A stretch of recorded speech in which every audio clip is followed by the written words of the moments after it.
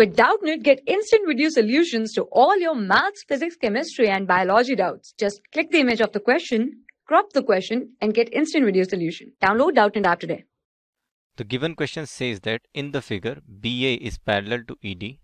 So BA is parallel to ED and BC is parallel to EF. So the line BC is parallel to the line EF. Now we are required to show that angle ABC plus angle DEF is equals to 180 degree. Angle ABC that is this angle. Angle ABC let's call it angle 1 and angle DEF let's call it angle 2 this is the angle DEF so we are required to prove that angle 1 plus angle 2 is equal to 180 degree. So first of all we are going to construct something.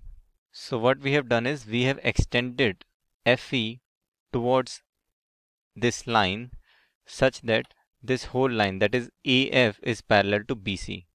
Now if AF is parallel to BC and I call this angle that is angle BAE as angle 3 angle BAE as angle 3 then angle 2 and angle 3 because ED is parallel to AB and AF is a transversal and angle 2 and angle 3 are corresponding angles.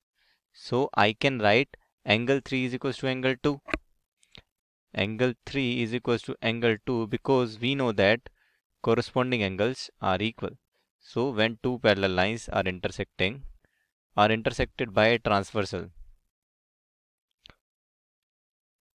then the pair of corresponding angles formed. For example, here if I call this angle as angle 1 and this angle as angle 2 then angle 1 and 2 are corresponding angles and they will be equal when these two lines are parallel. So in this case angle 2 will be equal to angle 3 because these two are corresponding angles. Now now if we consider this line that is AF and this line that is BC they both of them are parallel and AB is a transversal.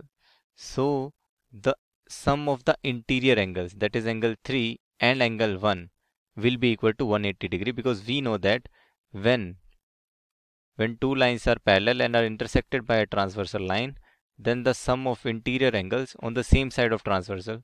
For example if I call these interior angles as 3 and 4 then angle 3 plus angle 4 should be equal to 180 degree.